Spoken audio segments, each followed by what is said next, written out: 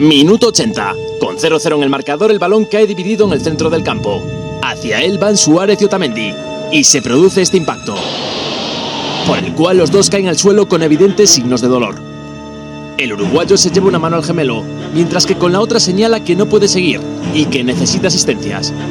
Suárez se baja la media, mientras grita, y se lleva la mano a la cabeza.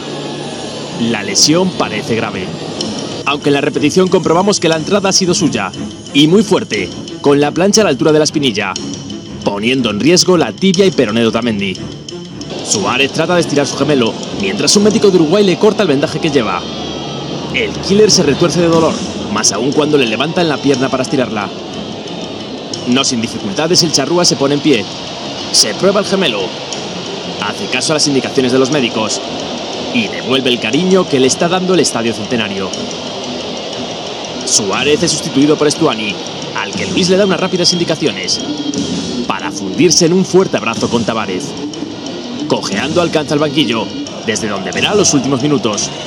Tras el partido, Suárez restaba importancia la lesión. Se me acalambró los gemelos, fue solamente eso. Para presumir de su compromiso con Uruguay. Acá estoy, eh, por esta camiseta que el cual uno siempre ha dado, ha dado todo, tratando de, de arriesgar como un partido como hoy, ¿no? Minutos más tarde volvería a tranquilizar a todos en su Twitter. Estoy bien, solo ha sido un calambre en el gemelo.